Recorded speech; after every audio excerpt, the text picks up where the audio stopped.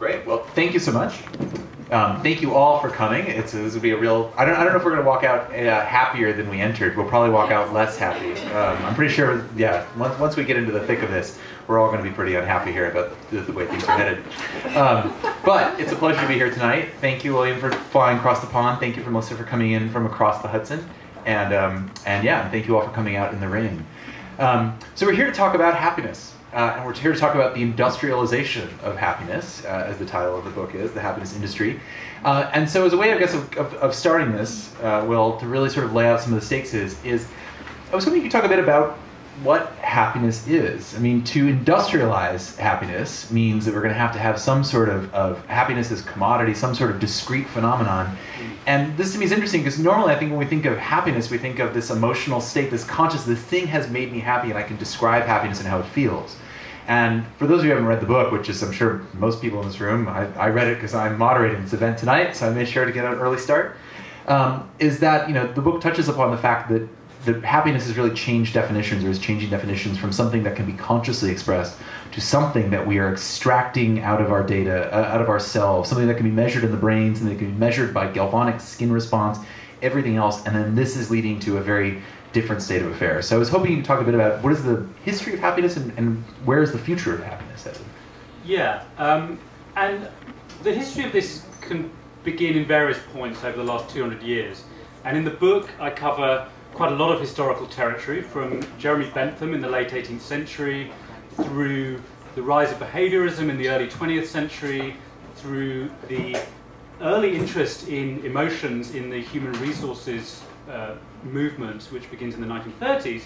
But I think what you're alluding to here, Greg, is something which is really dates back to the early 1990s, which is a new belief, a new ideal that our emotions are objectively knowable entities which can be quantified, measured, and integrated into workplace strategies, into branding strategies, into healthcare strategies in various ways. Now, there are various companies, various technologies which allow this objectification of our emotions and our uh, economization, if you like, our, our, quantification of our emotions to take place. There are companies which uh, specialize in what's called sentiment analysis, which subject things like tweets or email or text messages to uh, algorithmic analysis to try and identify how much positive emotion is conveyed in a single statement. This allows uh, companies to uh, track the positive and negative emotions that are flowing around Twitter uh, with a view to understanding how brands are uh, affecting people emotionally and that sort of thing. Equally, there are uh, companies which are analyzing facial movements with a view to understanding the impact of brands and uh, uh, products on our emotions, companies such as Affectiva, which is spun out of MIT, which can analyze positive or negative emotion through a, an ordinary computer webcam in terms of how someone's face is moving. Uh, there are fields such as neuroeconomics, which focus on particular chemicals, such as dopamine in the brain, with a view to updating many of the core assumptions of neoclassical economics, which date back to the late 19th century, but to uh, combine uh, the field of neoclassical economics with uh, an analysis of, uh, of the brain with the aspiration to render decision making in the market something which can actually be understood in terms of uh, the, the flow of different chemicals within the brain. So I think what's happened over the last 20 years is a refreshed idealism, really, that happiness, positive emotion is something that can be rendered biological, something that can be seen, something that then can be traced and integrated with other forms of management, economics, economic policy, uh, and so on. And the rise of wearable technology, which is uh, in the ascendancy right now, is, uh, uh is, is, simply adding to the, uh, to, the momentum of that. I think over the much longer period of time, there has always been, and I think Bentham in some ways is the, the architect of this, but it, it arises with things like uh, uh, the, the, the, discovery of antidepressants in the 1950s and the various other points, uh, another type of almost kind of utopian ideal that core questions of human flourishing, core questions of human wellness can be rendered scientific, can be rendered biological, and the, the questions of who to be, how to live, what kind of person am I, and how can I become better in some fundamental sense, that those questions are amenable to sorts of physiological, medical, biological, uh, or economic answers. And I think that is something which also fuels uh, quite a lot of this today. Again, in things like wearable technology, you can see that sort of thing.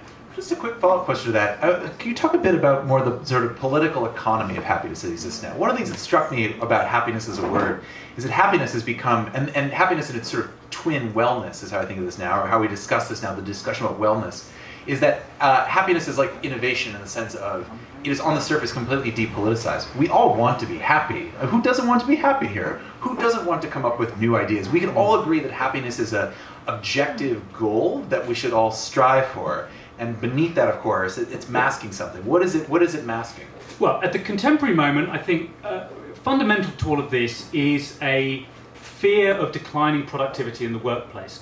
Uh, with the rise of happiness economics in the 1990s and the rise of what has become known as well-being in management over a similar period of time, under, underlying that is uh, an anxiety of uh, stagnation of productivity, stagnation of effort at work. So, uh, amongst the more dramatic findings of happiness economics are those that relate specifically to productivity and to effort at work. There is uh, work by uh, the British happiness economist Andrew Oswald, which suggests that a happy worker is 12% more productive than an unhappy worker. Uh, the opinion polling company Gallup uh, have gone from being so much of their business model traditionally was obviously focused on uh, elections and, and, political voting preferences, but increasingly they're focused on well-being, and they survey a thousand Americans every single day on the question of how, uh, how of their well-being. Um, and a lot of this data is being collected with a view to anticipating problems of what they call employee engagement. They suggest that uh, only around 20% of the US workforce is what they consider to be engaged in their work. And they have an astonishing calculation that uh, the uh, net cost of employee disengagement to the US economy is $500 billion a year or something, which uh, quite how you come up with a, a, calculation on that scale. That's taking into account productivity, uh, healthcare costs, and all this sort of thing. Um, but this would, in a sense, their idea of what an engaged if 100% of the, uh, the, the labour market was engaged, you'd be looking at a completely different type of society, a completely different model of capitalism. Uh, so a lot of these calculations, a lot of these measures are introduced with a, uh, out of an anxiety that on some level capitalism is unable to command the levels of enthusiasm, the levels of engagement that are required in economies where uh, forms of other types of, of, of, managerial control, other forms of behavioral management uh, don't seem able to extract the types of effort, the types of enthusiasm that are important in an economy where care, customer service, ideas, creativity uh, are famously at the core of a post-industrial economy. Uh, the happiness agenda is instrumentalized in the service of that type of economy. Interesting. So, so it's interesting. So you're, so you're, well, as I say, my, my next question is for Melissa here. So Will is describing like the, basically we all need to take Soma so we could work 24/7. And really, really, the perfect drug then is going to be a combination of, of Adderall and Soma. Um, but then, then there's a whole other strain of how happiness has been. If, if, this is a discussion of how it's being industrialized, and we've also seen over 100 years how it's been weaponized by the advertising industry. And I think my favorite philosopher of happiness is Don Draper. Happiness is the moment before you need more happiness. So, Melissa, you've, you've studied and written a length about the advertising industry. How has their conception of, of happiness evolved, and how is it deployed in that? Because we're constantly being told that we're unhappy until we have this thing. And so, what is that whole strain of thought? Advertising has been so good at understanding how to get us where we live and talk about what it takes to be happy. I mean, advertising figured out years, decades ago, that if they could attach the idea of happiness to buying stuff, that then they had it made because we all want to be happy, as you suggested. So if we would only buy whatever product is out there, then we would become happy. Uh, but what advertising also realized is that the circuit couldn't end there, right? You couldn't just say, okay, buy this product and now you're happy. You had to create this sense of ongoing desire, so you had to make someone feel like once they bought that product, they were then still somewhat unhappy. They were still somehow unfulfilled. Um, so really what advertising figured out was that the ongoing sense of happiness uh, would be better connected to a sense for desire that was never actually fulfilled. Um, uh, you know, a lot of people have written about this, certainly not something that, that I invented, you know, but this, having that, that um, psychological attachment to things um, as making us happy was something that advertising worked on uh, for a long time. Uh, now it seems like, because some of the things that uh, Will talks about in, in his book, um, advertising has figured out ever more sophisticated ways of trying to connect us to happiness. One of the things uh, Will talks about is neuromarketing, for instance. So the idea here is that you can look inside the brain, see where the happiness or pleasure centers are inside the brain, and then um, you know, once you've pinpointed that, you can figure out what people need, and then you can target ads specifically to them. So the idea now is that, okay, I can't just come up with an ad uh, that everyone is going to respond to, because what makes me happy might not be the same thing that makes you happy. So what I really need to do is figure out what makes you tick, figure out what makes everyone in the room tick, and then come up with individualized, personalized ads to reach each and every one of us. So, you know, so I, I mean, I could go on, Yeah, yeah, right? yeah. So then you could look at how uh, social media and marketing have become so closely intertwined. In fact, I'm, I'm convinced that social media serves the advertising industry more than it serves any of us. Right? So you use social media now to promote the idea of happiness uh, because people want to feel connected. They want to feel a sense of community. They want to feel like they uh, have someone that they can relate to. They want to feel like there's loyalty.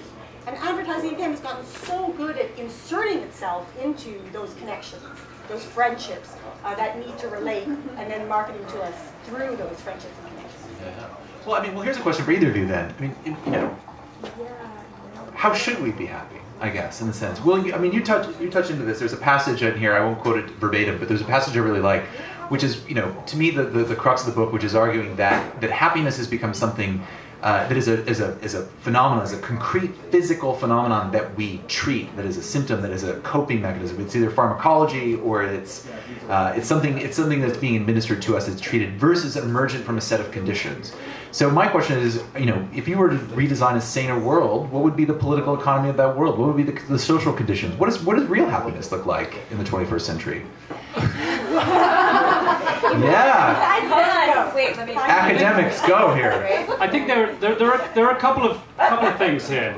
I think one of the curious things about happiness economics and happiness statistics, the first attempt to try and measure the happiness of entire nations begins in the mid 1960s. So this is the time of the rise of humanistic psychology. It's also the time when positive psychology comes along. Psychologists and psychiatrists and psychoanalysts had barely thought to study happiness until this point. The question of what is happiness as a scientific question it's relatively recent, uh, uh, at least as, a, as an object of study within the, the psychological sciences. Um, and it arises at that moment partly as a countercultural and critical response to a seemingly commercialized, corporatized, you know, the, the world of organization man, that, you know, that that this was a, it begins as a countercultural reaction against conformity, against markets, against capitalism. Uh, and what is then becomes the social indicators movement, as it's often known, is an effort to try and come up with measures of well-being which uh, are not reducible to money. Now, this is something which I think, in, in, in a setting such as this, is something which I think we, you know, many of us here would uh, support, feel enthusiastic about. What I think is so troubling about the agenda, and in some ways quite tragic, is how that identical critical apparatus becomes almost kind of inverted so that instead of asking the question, what in society, what within capitalism are the conditions for human flourishing, becomes a body of evidence, a technical form of measurement, ultimately a form of surveillance, not in a sort of big brother uh, kind of Orwellian sense, but in the sense of more and more and more of our lives being audited, be it right up to the current day of Jawbone and Fitbit wearables and that sort of thing, but not with a view to changing society, but with a view to changing us. So what begins as quite an idealistic moment of asking what would the economy look like in order for human flourishing to be possible morphs by the 1990s into a question of how should humans behave how should they alter their cognitive apparatus, cognitive behavioral therapy, self-help, um, this sort of thing, so that we can change ourselves so as to cope with a world that seems beyond change.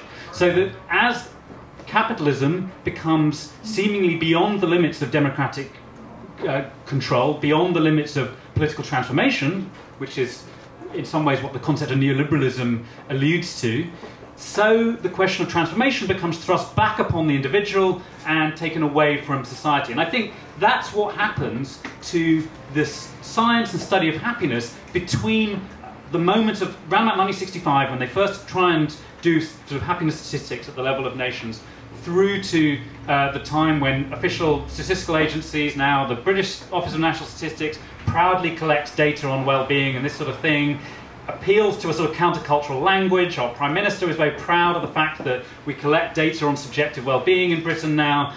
But ultimately, how does that then cash out as a policy intervention? Well, it cashes out in terms of enforced cognitive behavioral therapy for the unemployed, in job centres, what is called behavioural activation in job centres, what uh, amounts to things like uh, making uh, behavioural uh, cognitive behavioral therapy programs and that sort of thing a necessary condition of receiving disability benefits and this sort of thing. So you are now actually punished if you refuse some of these treatments, uh, to put it to put it bluntly. Be happy or else, damn it.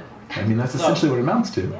Um, I'm not sure I answered your question about uh, what should happiness look like, well, but, but, I think a society in which that original ideal was still alive would be a society that I want to live in. Uh, and I mean, there was one, it's a slight drop in the ocean, but there was um, a CEO in, the, in, in America recently, I now can't remember the company, but who read the data on happiness economics and cut his salary from over a million dollars a year to something like $75,000 a year or something because he uh, discovered from reading a body of happiness economics that this would not only improve the productivity within his company because of the, the negative effects of inequality on well-being and the negative effects of well-being on productivity, but also he discovered from this body of evidence that uh, his own well-being was not going to be any higher, earning you know a million dollars a year than earning seventy-five thousand. Now, you know, in a way, that's the exception which proves the rule. I mean, I was just going to say, is that a bad thing? That act into itself? I don't, I don't clearly, I mean, there's nothing to criticise about that. It's just no. that uh, if that's what we're, we're, we're holding out hope for, then we, we've got a long uh, road of uh, progress ahead of us.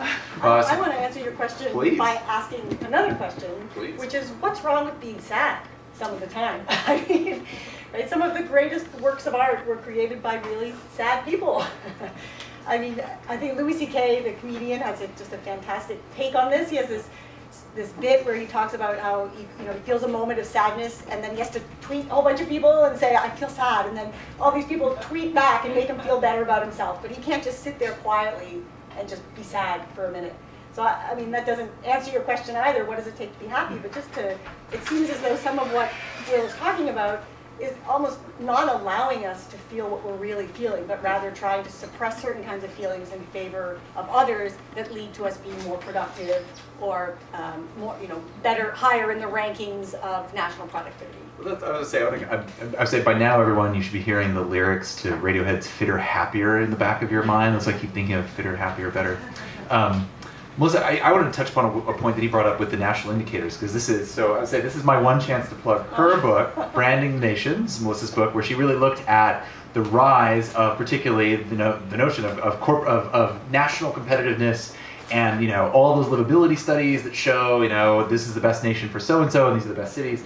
Melissa's did a whole analysis of this. And I would love you because really what you're describing there is sort of at the beginnings of the gamification of happiness. And so I was hoping you could talk a bit about that, about at uh, the national level, policy changes designed to gamify, to, to, to, to, basically hack the ranking systems to make it look like they're getting happier because now we're seeing this trickle down to the personal, essentially. Absolutely. So, yeah. Yeah, so, I mean, like Will said, this starts in the 50s and 60s, but what starts to really happen, what I try to talk about in that book is a whole industry of branding consultants who used to work on products, making people happy through products, who now realize that, you know, they have 180 new clients, which are countries they can go and, and uh, work with these countries to uh, assess what it is exactly this country represents to the world. And that to the world is a really key piece of it because what that suggests is that it's not so much about how happy the country is inside the country, it's how much other people in other countries think that country is happy. That's really key Because one of the real goals of something like nation branding is to attract people from outside, whether that's for tourism, uh, whether that's foreign direct investment, you know, get companies to locate their headquarters in your country and then bring skilled workers in, uh, and so on. Whether that's for uh, getting international sporting events like the Olympics or the World Cup to your country. So a lot of those decisions get made on the basis of how well off and how much well-being there seems to be, how much harmony there seems to be in the country. So what branding consultants did uh, was really quite ingenious. They both created the way to measure that happiness, and then they used those measurements of, as symptoms of their effectiveness, right? So it was this kind of closed chamber of analysis where they could say, okay, we're going to help this country rise in the rankings that we have just created of uh, national uh, happiness. And if the country moves from 20 to 10, well, that's a media story. So then we're going to send that story around internationally, talk about how this country has risen in the rankings. And I mean, the sad thing about this, I, I was very critical about this phenomenon in, the book because what so often ended up happening was not actual measures to improve the well-being of citizens, but really either it was the development of infrastructure to attract more tourists, which has some advantages but has a lot of negative features too because it takes money away from other maybe more pressing concerns. Um, but it also meant that um, certain kinds of policies could then get enforced which uh, really didn't benefit the society.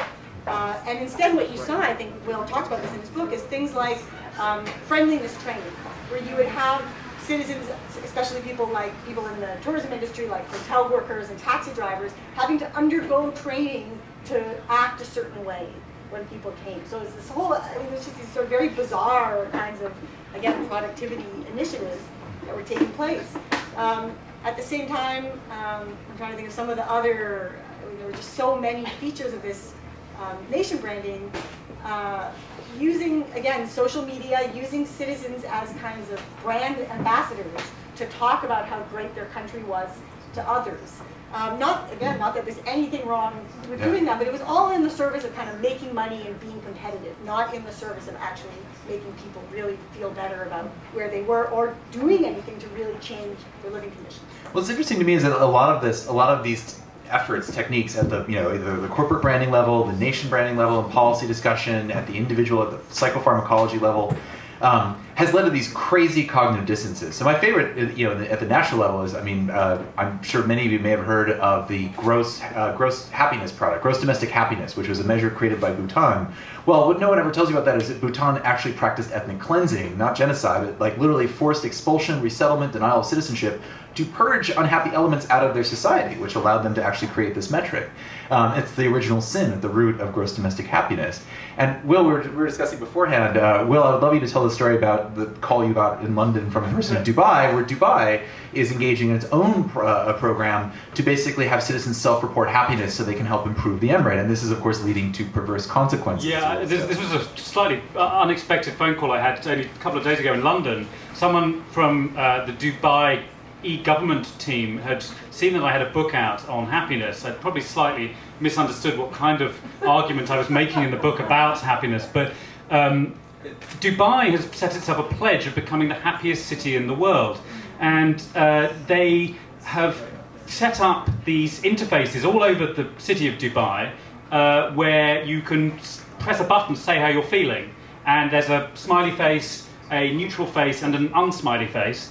Um, and the idea is that they will get constant feedback on the emotional effects of various public services, infrastructure, amenities, and so on. And the phone call I had actually was that the guy was in London at the time uh, and told me this is what he said. I don't know if he was, thought he was under surveillance or something, but he said, "I wouldn't want to tell you this." I want to tell you this now while I'm in Dubai, but just so you know, uh, there is no intention actually of of these statistics coming out with any other result other than maximum happiness because we're in a contest against Singapore as a sort of uh, uh, international competitiveness of Dubai versus Singapore. And he said he'd struggled quite hard to get the unhappy face into the interface because there just wasn't any interest in, in knowing about unhappiness. So this actually isn't really, this is a sort of almost like a bogus example of, of, of where this goes. But I think that, if anything, that speaks of how well-being and happiness have become um, they've certainly got a, a kind of uh, flavour of the month element to them in the, in, in the policy world. Um, and with the rise of wearables and the rise of what's called affective computing, which I was kind of alluding to earlier with sentiment analysis, facial scanning, uh, what's called people analytics in the workplace, the idea that uh, the science of well-being can be the answer to nearly any form of social, economic, or political problem, it's clearly kind of getting out of hand. Uh, and in some of the excesses, there will be clearly governments that simply want more and more and more evidence of, of positivity, even when it sort of takes leave of, of reality, even. But um, yeah.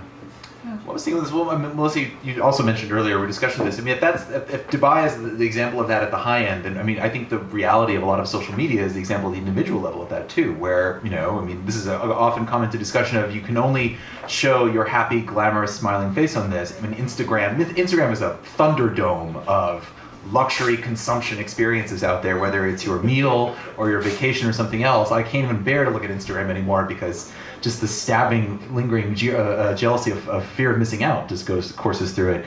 And I, am sort of curious. I mean, where does this end up going? I mean, are we are we are, are we in danger of reaching a point where we can no longer say I'm unhappy? Where that is impermissible. We have now you've like breached the reality field if you simply say you are sad. Like it's you know instead of instead of acknowledging that perhaps sadness is a good thing, we're no longer allowed to say we are sad because now we are questioning the very tenets of neoliberal reality or something of those lines. I don't know if either of you have thoughts on this, but you know. Will, will we be denied the unhappiness? Uh, uh, I mean, I, am not sure. I'm sure there are cultures where that's true, and there are social media platforms where that's true. I've, I've seen it said that no one is as happy as they appear on Facebook, nor as angry as they appear on Twitter.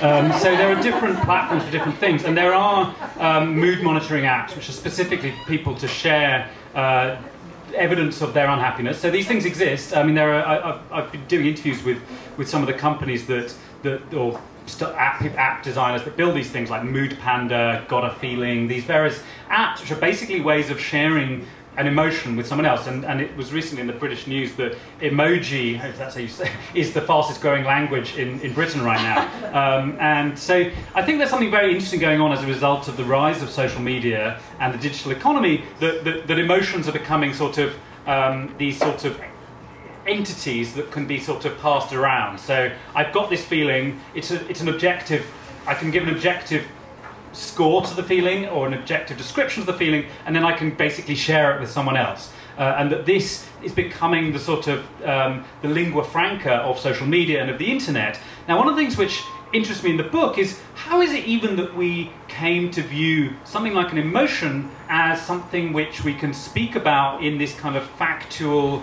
objective way, uh, which in a way there's something very philosophically problematic about that because emotions aren't really facts in the way that your body temperature is a fact. I mean, I can, I can find out, a doctor can find out whether or not someone has a high temperature, even if they've never had a high temperature themselves. They have the instruments to do it.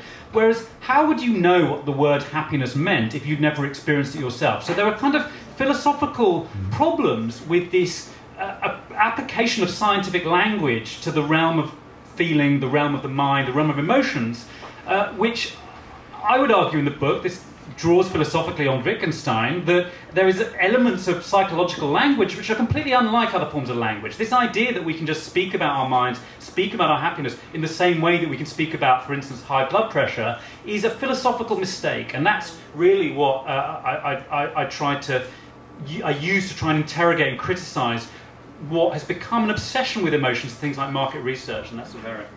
I, I would add too that. Uh, one of the things that I think Will does so well in the book is show us how happiness has become a status symbol, right? So happiness is not not just something that you feel yourself, and then you or you feel with others. You know, might arguably say this the origins of happiness having to do with connecting to other people, but now it's something that you use competitively, like everything else, right? So now it's, it's, I mean, it's, it's measured, it's ranked, as, as Will said, you can objectify, you can rank it on a scale of 1 to 10, but you can't, you know, talking about your feelings is now some kind of weird status game. Right? There are all those jokes about humble brags that people do on social media too, where it's like, okay, well, I, I want to talk about how happy I am, but I know it kind of sounds like bragging, so I'm gonna, you know, sort of talk about how happy I am, or I'm gonna throw in something that's a little bit sad and bring it back. But it, you know, becomes this, it becomes a currency. Happiness becomes a currency that has a value, and the more you have of it, the more you seem to have gotten it all. I mean, when you describe going on Instagram and that feeling of sort of envy and you know, desire to be part of it, and yet you know you can't really look away. You have fear of missing out, and at the same time, when you get off Instagram, you don't really feel that happy. Right? It doesn't really make you feel that good about yourself. So it's it's kind of nefarious that way. It isn't really happiness the way that I think it was imagined to be, or something that we just really feel ourselves. No. Undefinable. Well, I love I love that uh, Will opens. We're going to open to questions in a second. I love that Will opens the book with an image of a French monk who has literally shattered the world record for happiness as they have measured it, and as they put it, his prize is to get invited to Davos. So it's sort of a booby prize for breaking the happiness record. Um, I'm sure you have many questions beyond what I can ask. Uh, yeah, if anyone has any questions, would you like to start asking them now? We have about uh, 25 minutes left, I think. Um, I can keep going. Yes, please. Um, well, you said that happiness and other emotions couldn't uh, but what about fMRIs? So this is things like fMRI is at the absolute front line of the this objectification of emotions that is going on right now. I would argue that, of course, the capacity to monitor events in the brain has increased hugely, and this has created a lot of the current exuberance around emotions and around happiness in uh, business and in healthcare recently. But there are a couple of things that I think need to be recognized about this. The first is that often there's a mis- misunderstanding of what fMRI can actually tell you, or something like neuroscience, because the fact that something is uh, facilitated by the brain or enabled by the brain or has some kind of neural uh, symptom doesn't necessarily mean that that's the same as, uh, as what you mean by happiness. I mean, after all, when we use the word happiness, we don't mean a physiological event, we mean what we mean by it. So, in some ways, they need to kind of come up with a different language mm-hmm. to, to, to, for, for the neurosciences to, to refer to what they're referring to, because often I think this is where things tend to go wrong in areas like neuromarketing. There is uh, a belief that neurological symptoms, neurological events can explain what's going on, whereas in fact they are simply uh, symptoms of something that is going on, but which still needs a kind of an interpretation and an understanding. Um, now, of course, you can measure symptoms, uh, just like you can measure the symptoms of someone who is, you know, says they are feeling pissed off with the world, or something like that, or say someone who says they are angry. Someone who's angry might go and hurl a brick at something else, but that doesn't mean that the symptom uh, can be measured as a way of understanding what it means to be an angry person. The symptom is something which uh, is visible to the object, to, to, to, the watching eye, but in some ways, what, uh, as I argue in the book, what we're losing in our enthusiasm for all of this is the capacity to listen to people mm-hmm. and to listen to people what they say they are feeling and to articulate things in their own language, uh, because we believe that physical symptoms, whether that be neural or some other kind of physiological symptom, uh, we're allowing them to become uh, those indicators to become uh, uh, the, the, extent of the story. And so I think clearly you can measure things. I'm not denying that you can measure things. People do measure things. The question is whether those measurements are adequate to understand what they, it is they're trying to measure. Uh, yeah, please. I have two quick questions. I haven't read the book yet, and I'm really looking forward to it. Could you give us a sort of just a brief overview of what the project is, how you started with it, mm. what the what the book is doing? Right. I, will tell you how, how I came to write the book. So, um, around about 2008, 2009, as the financial crisis was uh, in its depths, I assumed, like many people, that we were about to watch uh, a fundamental shift in the political economy of the West. Lots of people thought this at the time. I remember the BBC's business editor said, this is going to do for Western capitalism what 1989 did for communism. This is, this is it. This is the big one that, that, that many Marxists have been waiting for. Um, and uh, for better or worse. Um, and then within about a year, I was sort of very interested in how this event was being uh, explained by various economic experts. And to my astonishment, people, rather than focusing on things like regulation or the state or markets or structures or sociological categories or even economic categories, people were increasingly saying, well, there are these cognitive biases and, and heuristics that go on in Wall Street and the brain releases the wrong kind of mix of neurochemicals at the wrong time, or there are things like evolutionary psychology suddenly got a, a, a very good hearing around about this time.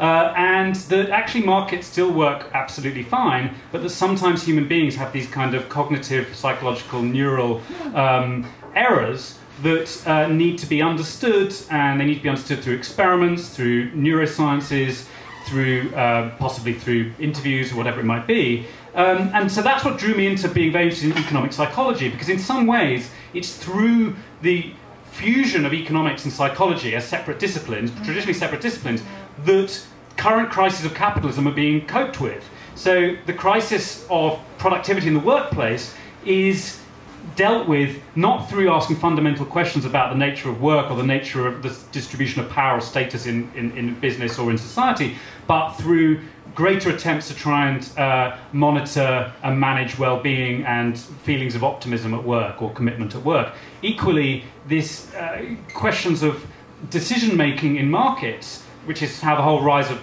many of you will have heard the notion of nudge behavioral economics, is uh, achieving huge amounts of policy influence at the moment because it's assumed that the broad structures of markets and of the distribution of power in society and of regulation uh, must be fundamentally correct. Therefore, we need to go into the mind and into the brain to find out how mistakes get made and how uh, uh, such undesirable outcomes still possible. So that's how it came about. And I think there is a longer history which, through Bentham, through the early neoclassical economics of the late 19th century, to try and understand why would we even think that the mind operates according to particular kind of economic or statistical rules in the first place? Um, and in some ways, what I've discovered as a result of writing the book is many people who've got in touch with me most enthusiastically have actually been psychoanalysts. Because it's psychoanalysts who feel often most threatened by a lot of the agenda that I criticize. They feel that they're losing clients, they're losing funding, they are losing credibility. They've been losing credibility in the psychiatry world since the 1960s, really.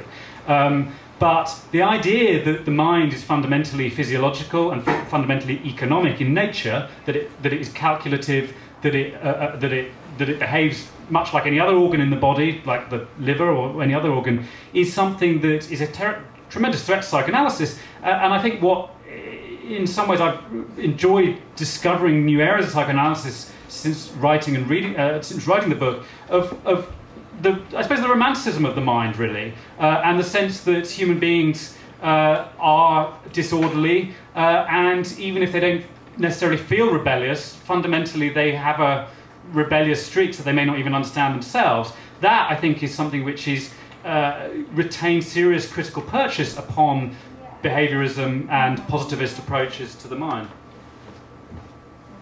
Thank you. I have a second question. Oh, sorry. but it, it, it, sort of attaches to this because one of the, the beautiful things about this moment is that you're sitting in this bookstore with those books behind you. Toni Morrison, uh, uh, Diga is over here, right? So I think a little bit about what Melissa was saying about how sadness functions in a culture as well as a motive for creating art and telling stories. And it strikes me that poets and novelists are actually doing uh, quite a bit of high-end research, if you will, uh, naming the particulars of a range of emotions that corporate capitalism will never get their hands on, right? Of course, they may never make bank, right? Some of the, the best poets I know are doing a, a kind of work of naming the particulars of happiness that, that defy any sort of categorization. So uh, that's not a question, it's just a statement of fact, like how awesome this is. And I guess the question that comes out of it then is, um, when you when you were doing the research for the book, um, do you, are you talking to individual people who are involved in this industry? Because when Melissa, for instance, when we're talking about advertising doing X or advertising doing Y, it sort of like anthropomorphizes the industry. So I'm wondering if like if you guys approach this by by talking to individual people inside the, the industry who are making these choices, because that seems to attach to the social construction of emotion. I can talk a little bit about that too, right? Yeah. Specific individual. So, all right. So in this case, so uh, regarding sort of the sensor analysis that's being done here and the instrumentation of what's going on. So, um, so yeah. So literally last month at Fast Company, uh, there were 20 of us who wore sensor badges, sociometric badges, and Will goes into the book into a discussion of sociometry, sociometry. I don't know, sociometrics as a field. And so this badge, this badge that we wore, 20 of us, it uh, we wore it every day around our necks. It had an infrared sensor, it had Bluetooth, it had an accelerometer so it knew where we went, and it also listened to everything we said, although not for content, just how we talked to each other. So what turns we took, our vocal intonations.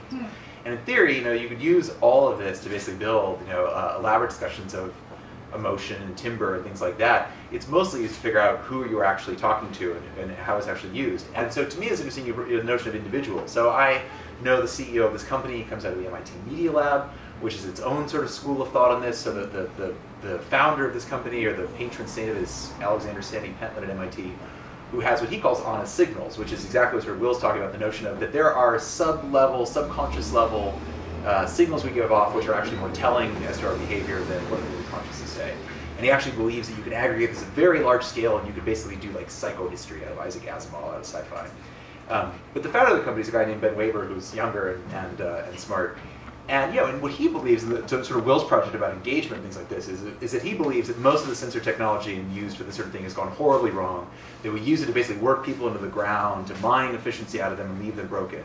And so he believes, and I would like to believe he's true, um, that we can that we basically when you're stuck in a corporate America that only believes you can manage what you measure, is that you can use this sort of technology, you can use this sort of data exhaust off of this to finally make the cases for more humane arrangements of offices and more humane working arrangements. Because now you can go to managers and say, hey, if you put the office this way with more daylighting and these sorts of things, we now have actual absolute measures that say this is better.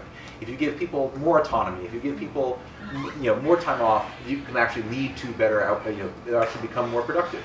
Um, he believes that you can actually make this case. And to me, the interesting question we were discussing this earlier is, is you know, there's a, you can tell people a lot of things, uh, but often they don't want to hear it. And so I'm very curious about whether, rationally speaking, that you can use this to argue that people will be happier if you give them more autonomy, or will it simply be ignored in favor of the current order of things? I mean, this gets to the notion of like, can these can these technologies be used for good, good broadly speaking, or will the system make them evil eventually? Are they poisoned at the root? And it's interesting. Will, in his discussions of the roots of, of sociometrics, sort of suggested to me that they were more poisoned at the root than I had thought. But I, I, think uh, one thing which I try to stress in the book is uh, the question of intentions is not necessarily all that significant. I mean, uh, you could have a society which was perfectly administered towards promoting the maximum good of, the of, of, most people. This is what Jeremy Bentham imagined in the late 18th century. This is what an enlightened society would look like.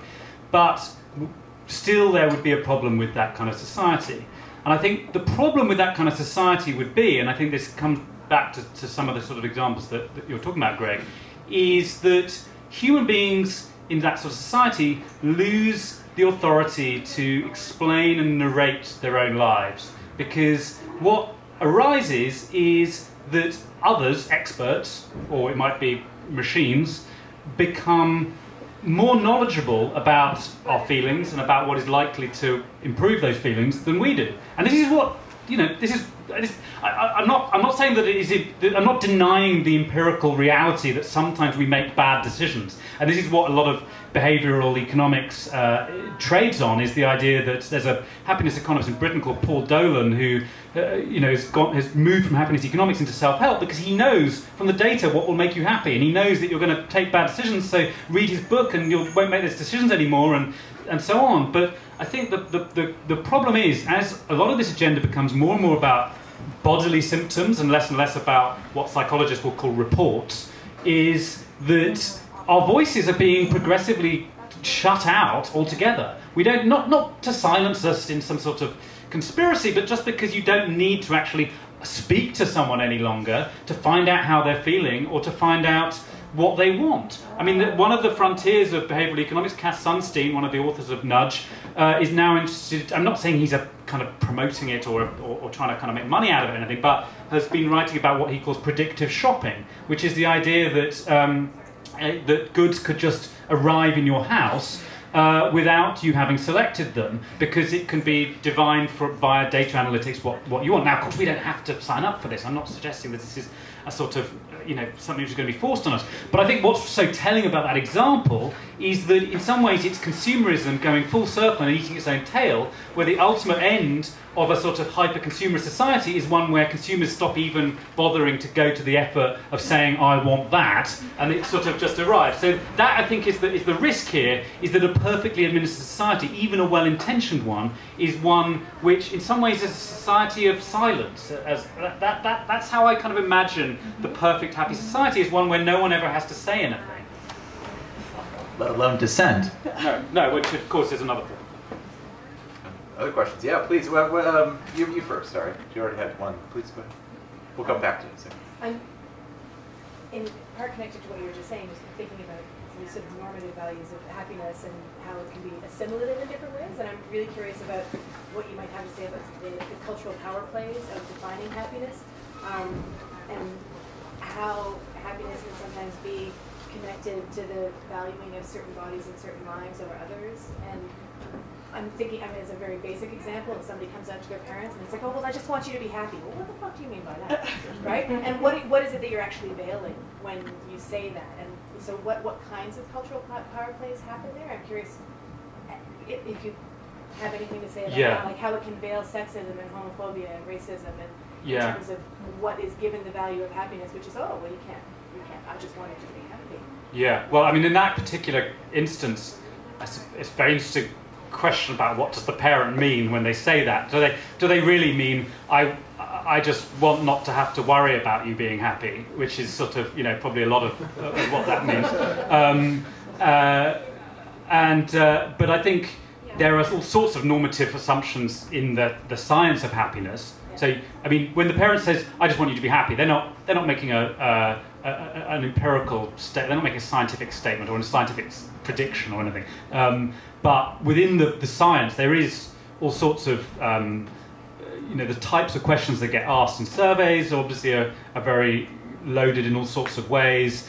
Um, the you know there's a lot of questions about the about particular family models which uh, seem to uh, fascinate the, the survey people in happiness uh, studies um, and I think the issue is that you can't not impose cultural assumptions on these things. There's a there's a, um, a quote I think is Bertrand Russell who said that the, he, reacting to the, the surge of psychoanalysis in the 1920s and 1930s, he said, being sarcastically, that the, the problem with psychoanalysis is that British psychoanalysts think that the unconscious is a British person. Austrian psychoanalysts think that the unconscious is an Austrian. French psychoanalysts think that the unconscious is an Austrian. The same is true with the brain. So neuromarketers think that the brain is endlessly wanting to buy things. Neuroeconomists think that the brain is endlessly calculating things. Ne- social neuroscience, which is what people like Matt Lieberman and John Cacioppo and people do, thinks that the brain is endlessly trying to strike up relationships. So there's this sort of so we impose onto the brain the presuppositions of our theoretical and normative and uh, philosophical assumptions. Now, and I'm sure I don't really address what you're specifically talking about in your book. Uh, sorry, in my I don't what your, in your question in the I don't address it in the book, but I've no doubt that you could pursue a very important and interesting critique along the lines that you're you're, you're suggesting uh, by looking at some of the quite conservative uh, presuppositions that, that get smuggled into a lot of the happiness statistics and economics. I mean, you know, because so much of it does seem to be about um, nuclear families acting in certain ways, and you know, d- divorce is bad for happiness and so on. But I mean, of course, you know, I mean, that that poses more questions than it answers. You had a question, yeah, please go ahead, and then we'll go to the back. So you're talking about um, self-report and seeming to um, want that. And so two questions. One is, uh, what is the context that you want people to, are you talking about with their friends and family or like to um, census takers to get actual kind of measures of happiness that are based on self-report? I didn't use the term self-report. I mean, I think one of the the notion of self-report is, is, is in some ways flawed from from the perspective I'm taking anyway, because it suggests that there's a kind of objective entity somewhere lying within me, which if only I can just sort of come up with the right number, I can just sort of communicate it to the survey, and then my happiness has been sort of registered somewhere. What I argue in the book is one of the problems with living in a society which turns happiness and unhappiness into quasi-medical problems is that you're, you cease to speak, speak out about what makes you unhappy to the person or to the institution that has made you unhappy. What I'm asking for, what I'm, what I'm suggesting is not more self-reporting you know, in, a, in a kind of methodological sense. It's more institutions which would give people the voice to explain, narrate, uh, and communicate their unhappiness in the context where the unhappiness actually arises. If you're unhappy at work, speak about your unhappiness at work. Don't go to your doctor and speak about your unhappiness. Uh, if the context of your unhappiness, if what you seem to think makes you unhappy, is taking place somewhere else. And one of the problems is that once unhappiness and happiness become viewed as these objective things that kind of happen to us, uh, we cease to actually view them in their contexts, in their cultural locations, in their political locations, and it has a deeply depoliticizing uh, effect because we're no longer doing, we're no longer making complaints you know, I mean, I think making making a complaint is a really important thing. I mean, I think, of course, there's the notion of sort of complaint to customer service, which becomes a more of a sort of I'm just going to kind of it becomes more like sort of feedback or something. But I think the capacity to say, you know, I don't like something, not in the sense of sort of you know Facebook unliking, but in a in a sort of sense of like I have a problem with this. In a way, it's that capacity to turn unhappiness into a political tool or into something that can affect change in the world that uh, is undermined by viewing happiness and unhappiness as, as scientific or objective phenomena. Yeah, go ahead. So um, I, I'm a little bit confused by that because I feel like people complain all the time. And they usually uh, blame their unhappiness on um, external circumstances. Mm. And then a lot of times it's in a situation that I'm sure everyone is where your friend is complaining to you about something and you can tell that they are very uncomfortable in some way. Um, and they are really convinced that it's because of the incredibly unreasonable behavior of X or whoever. Um, and you are like, I don't know, if I was in that situation, I don't really think I'd be uh, happy about that. Like, your unhappiness in this case, or your whatever, discomfort, is more about what's going Something on else. in you right. Rather than like just the situation. And I mean, I think that kind of bears out on the fact that like identical situations happen to people all the time, and as a rule, we respond to them emotionally in totally different ways. Yeah. So it's like there has to be. It's not as though there are bad things, and that we should just you know fix by complaining about. Mm-hmm. It's like there are things, and then there are emotions, and like things I'm not denying that. I'm not denying that, that emotion, that the human beings are emotional or irrational, or that, or that they that they misunderstand their their lives and that they mis narrate their lives. What I'm criticizing are the excesses of a of a worldview that says that that there are facts, and actually all of that confusion and all of that misunderstanding and all the things which ultimately, yeah, if it's your friend, you, you, you go through it with them. You, you know, you, you wouldn't want that conversation between two friends about unhappiness to be settled with a set of facts. If someone came in and said, oh, by the way, like, look at this, actually, you're wrong about that, you're right about that, you're wrong about that, now you could just stop the conversation. Is that actually a type of, would that be a, something which would make for better friendships or make for a better society? Uh, so, um, in friendship, no. Okay, But, well- well, hold on, one But, sorry, we're running out of time. So, what are we going to do? like, I was just thinking that, um, the reason why we don't complain to our boss, for instance, is because he got fired. Like, there's not a way, there are not, like, people react badly to complaints. So we find ways to, like, shove it down and, like, complain to our friends and go to our doctors only because other people, as a rule, do not like hearing that you want something to be different. Sure. All right. We'll, we'll go back. I want, to, I want to get to the back here. So, um, yeah, question.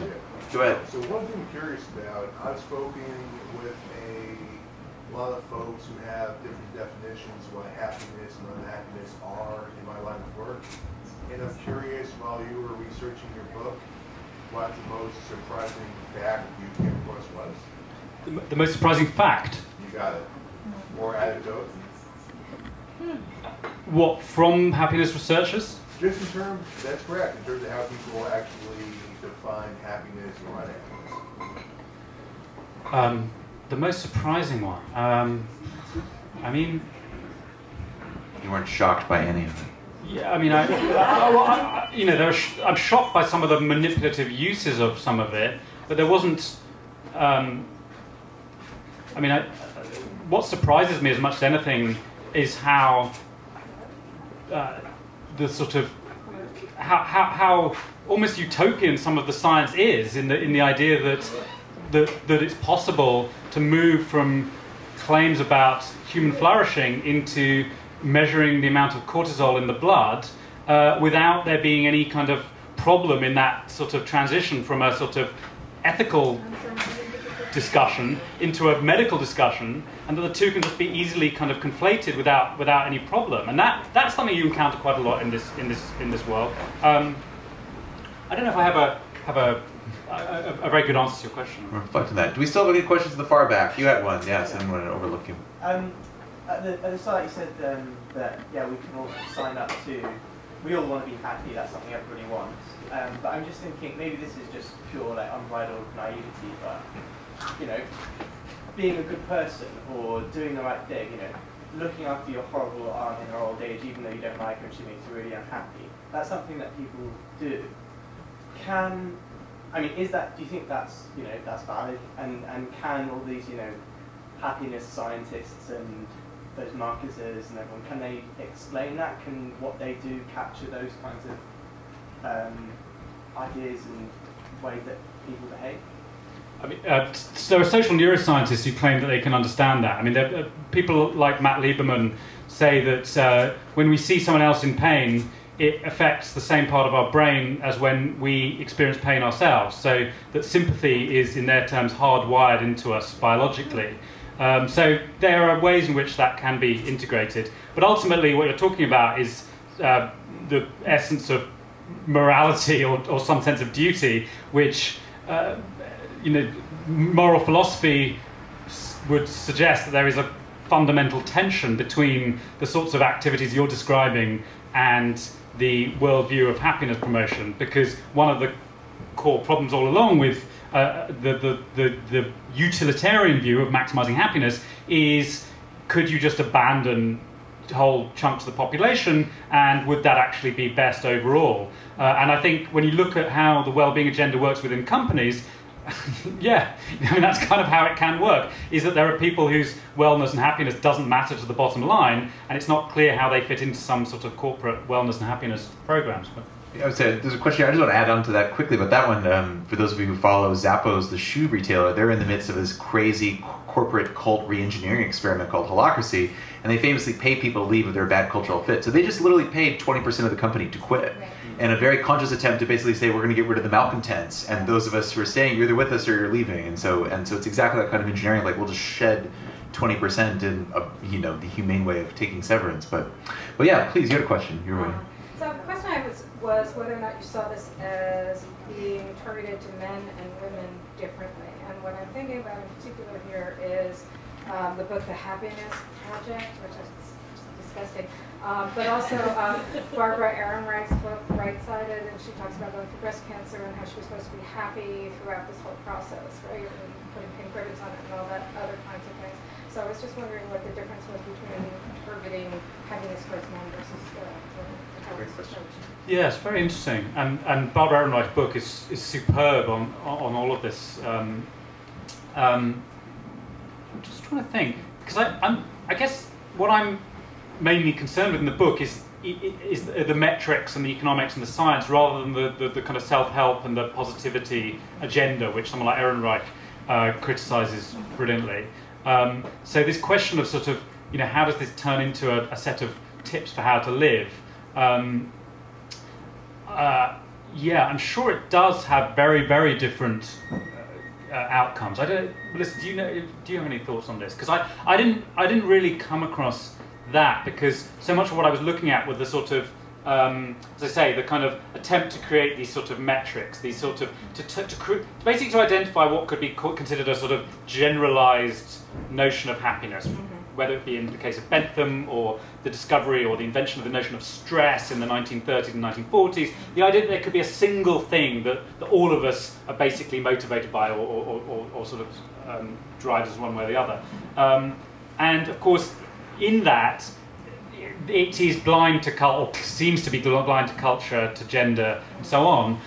The people who've driven it have tended to be men at every single point. I mean, I, I, I discussed probably about 10 or 12 different characters in the book, key people who have, who have developed this agenda, and now when I think about it, uh, I think it's 12 men. So, um, um, so uh, I'm sure there's a, there's a, yeah, yeah. I, I, I mean, I would just add to that by saying that it's one of the interesting things that you bring up in the book that I've noticed also in my own work on branding is how how it's so important to promote this as neutral, mm. right? And I think some of these questions have really pointed to that problem that as soon as you start talking about issues like the, about duty or issues of diversity uh, or issues of cultural specificity, they don't they don't fit into these models. And you know, the example that you give, Greg, of Zappos, you know, that's such a it's so it's so weird how they managed to turn this idea of happiness on De its head. Delivering, it's not really delivering happiness is Tony yeah, book. Yes, right, but yes. it's really not about happiness. What it strikes me is it's about is a, is a